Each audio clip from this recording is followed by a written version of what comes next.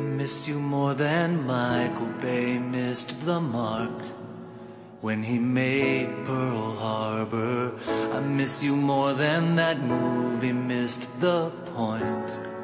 And that's an awful lot, girl. And now, now you've gone away.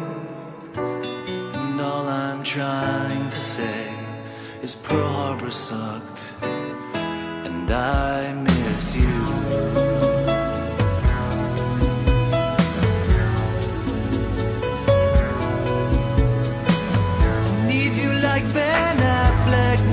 Acting school. He was terrible in that film. I need you like Cuba Gooding needed a bigger part. He's way better than Ben Affleck now. All I can think about is your smile and that shitty movie too. Pearl Harbor sucks,